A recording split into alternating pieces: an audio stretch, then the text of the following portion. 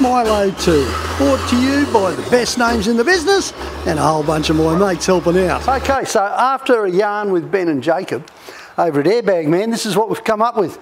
And uh, I should say this is what they've come up with, which is really quite awesome. It is. Um, in the past when I've run airbags, like on the 80 series, um, we just ran the tubes to the back and then we you could individually sort of pump each tube. But this this kit is completely different. First of all, um, my end of it, I'd say, because it's the not so technical bit, will be to fit these brackets which go over the bump stops and then the airbags bolt into them. As long as I get it the right way round, it shouldn't be too hard. Um, that'll be the air fixture there. That'll go through a hole there.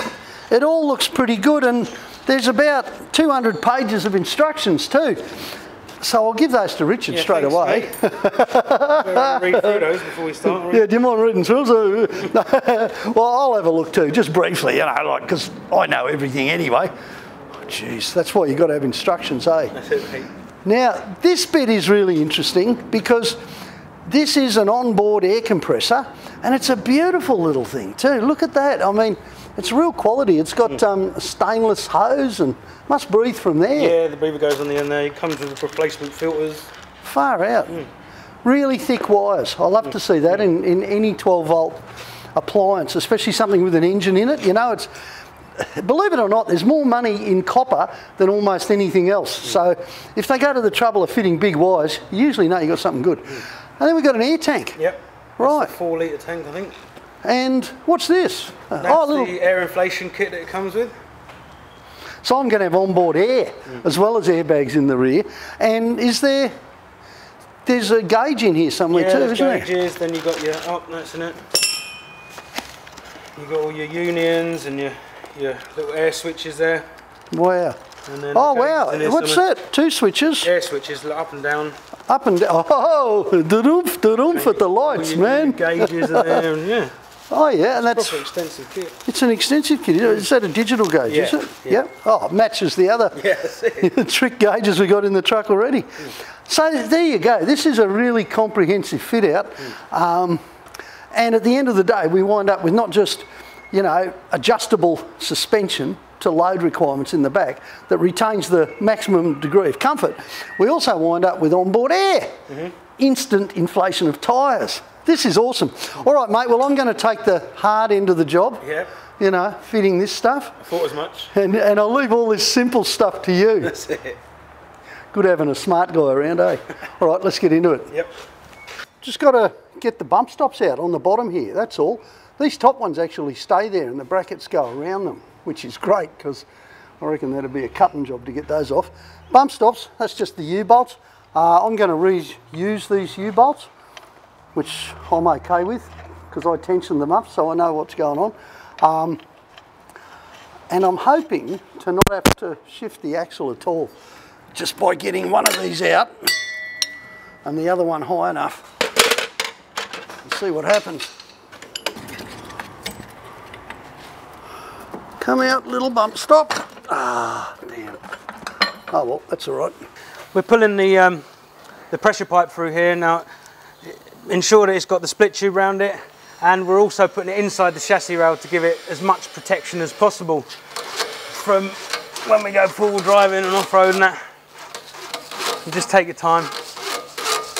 Try and protect it as much as possible because you do not want the air lapsing out of it. So um, this is the top bracket, and guess who didn't do his measuring properly? I think that'd be me. There's just a fifteenths difference here. So with the grinder, I'm just going to take the lip off that. Actually, I'm going to cut it off so I don't uh, risk nicking the chassis. Not a good place to have a cut in your chassis, is it? Right, change of plan here. Um, these bump stops are going to interfere too much. Um, that's my measuring again. So I'm just going to knock them off. There you go.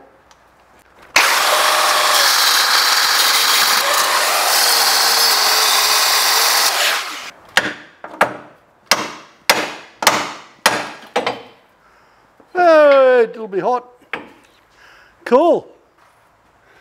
That's not too bad under there. I was kind of half expecting it to be all rusty, you know, being a hidden point, but um, that's not a good reason not to know, is it? Now I know, it's solid. Okay, so um, we worked out that we can actually assemble this, 90% uh, anyway, keeping everything loose, um, and then fit it in, which is awesome. Um, possibly you couldn't do that if you'd left the bump stops on, would have been a bit of a struggle. And because we've got a non-standard tray, we've had to do a little bit of cutting and bending and stuff to make the brackets fit. And the brake lines, of course, which uh, the guy who did the measuring should be taken out and shot. Um, they're going to need a little bit of bending, basically, but nothing that we can't get away with, which is good. And in fact, to some degree, on the bottom, there's enough space we can run the brake lines through the U-bolts without causing any havoc which gives them another degree of safety. So um, all good so far. This is lovely. That's going to work.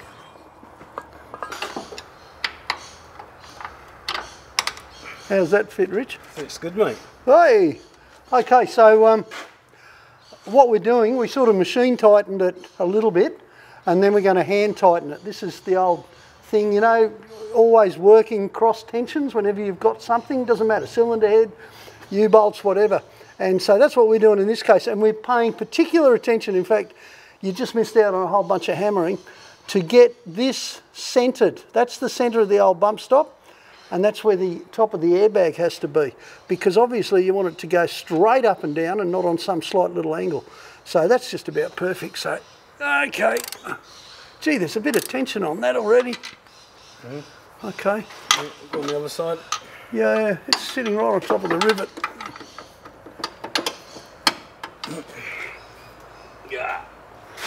I'm wondering about that, mate, whether or not we shouldn't make a, like a, a, groove a, a wedge. No, not so much a groove. I was just thinking a wedge to fit underneath it on top of the chassis. Mm -hmm.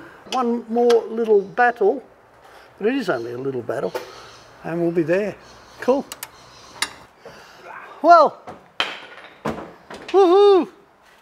Gee, I like the way she's rocking on the hoist. Um, I don't think I'll get under there for a minute. Right now, any custom truck work means custom, doesn't it? Right from the start. And this kit would have fitted perfectly if this wasn't a custom truck. Now, it's as it is, it's gone in beautifully. I've got to, got to say, it really, it's amazing. But of course, because we're using a 79 tray, not in its native situation, on a um, 40, 47 chassis, 45 chassis, 45 chassis, 47, 47 oh, all the same thing. Um, 47 chassis, then, you know, obviously we had to, we had brackets in the wrong places, we had braces in the wrong place, we've been cutting, hammering, banging away, um, all done, no problems at all, and nothing to affect the movement of the suspension, which is the big thing. Uh, I'm just going to go under, hook up the shocks, and um, have a bit of figure of eight play on the U-bolts. And Richard is going to mount the compressor and the tank underneath the shelf unit on the other side of the canopy. So it's actually protected because it'll be above the wheel arch, inside the canopy, which we know doesn't leak dust or anything. Um, it just couldn't be better. And I'm going to have a permanent air supply with a little fitting, because they give you a fitting that goes on it, um, and it'll be poking just out behind the spare on the other side. So It'll be like pulling up to your own garage. Magic. And there's going to be dials in the cabin so I can adjust the airbags. Now, it occurred to me, because Simon mentioned it, that that means from now on, I don't even have to worry about finding flat ground before I put the roof topper up. All I have to do, sit in the cabin and play with the air buttons. I can tilt the truck, I can lift the back up. You'll see me at the lights, I'll be the Mexican guy. We finished the uh, you know, highly technical, really hard bit, fitting the airbags underneath. So now it's just the easy sort of plumbing stuff, you know, reading 42 pages of instructions and deciphering it all. Um, and then, you know, the physical job of hooking the whole lot together. So I think Richard's got this under control because after all, he's the guy from Smart.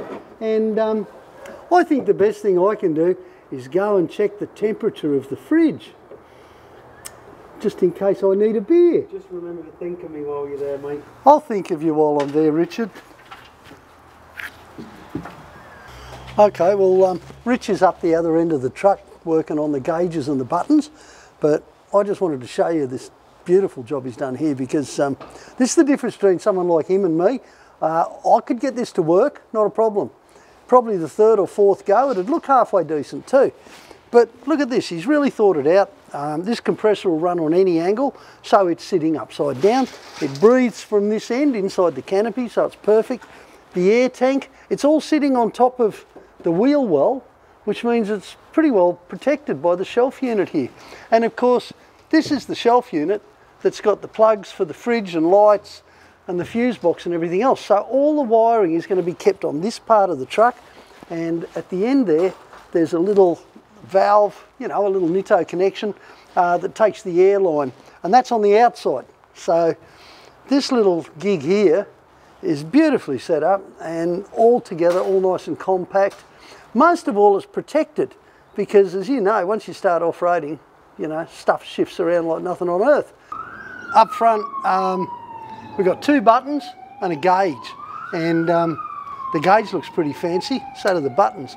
Um, those buttons, they go two ways, so it's like up and down for each airbag, That's is it? right, mate. Yep, up and down, and then we've got your. They'll be going just here next to the, the secondary fuel gauge, and then we've got a lovely spot right in the middle of the, the dash there. Oh, is that going to fit? Yeah, man. That'll go straight in there. Ah, Go the that looks if that you looks to cosmic. Yeah, man. that looks really cosmic. Awesome. It's just this big black void, you know. Yeah. It's going to light up beautiful. Wow. It's gonna be good. So just gonna pull all this forward, run all the lines up here. Ju- Just a suggestion from an old pro mate.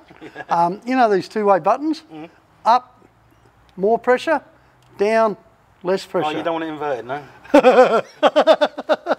I'm so helpful. I'll go back to doing up wheel nuts or Yeah, something. okay, All right, mate. Good on you. Righto. So um, here we are. It's testing time. Look at that gauge. Isn't that beautiful? Now that's sitting on 47 psi for both bags. Um, 50 is the maximum. And if I push them down, look at that.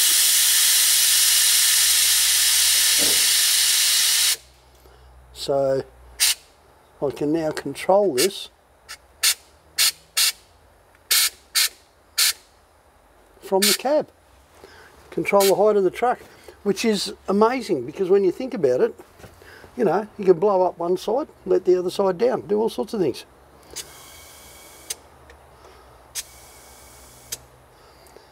Forty-nine on one side, and I can feel it. She's all kicked up like this.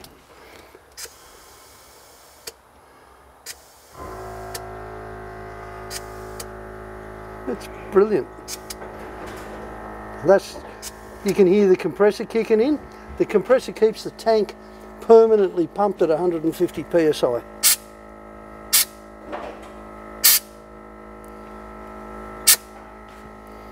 It's that easy. How good's that? I got a Mexican truck. Here we go. Um, all we're doing now is screwing the dash back in. She's all done. I got knobs and buttons and gauges. And the dogs love it. Good stuff, mate. Well done. Awesome. Yeah. I'll shout you a beer now. Yeah, sure. Well, maybe. Milo 2, brought to you by the best names in the business and a whole bunch of my mates helping out.